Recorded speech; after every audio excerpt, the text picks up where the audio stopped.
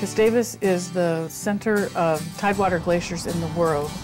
It's totally pristine. There's really no industry in Southeast except tourism.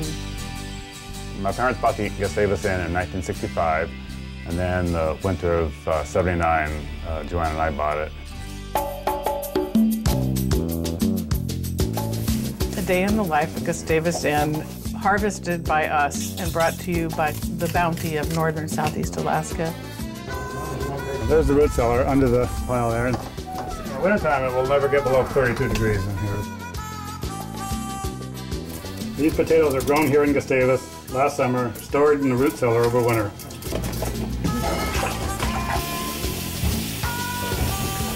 This is king crab that we got delivered to the dock, caught right here in the local waters, Icy Straits, Alaska.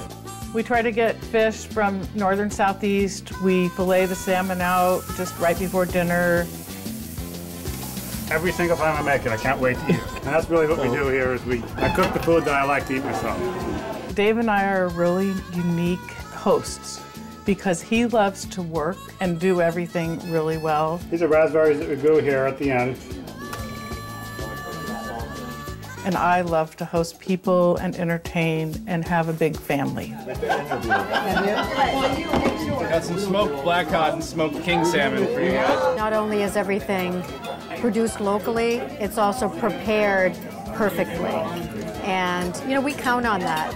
The guests are coming here have been treated by family, and you feel like family when you're here. And the guests are so appreciative, and it's just fun to give them a good time and just take care of them. Okay, here's our fresh wild king salmon. It's extra special. That's why I come back year after year. The Gustavus Inn was really started as the center of the community, and we've maintained that. We have a big, capacious dining room that we really invite the whole world to. So we're hoping people still can come and enjoy it and see the lifestyle that we lead here.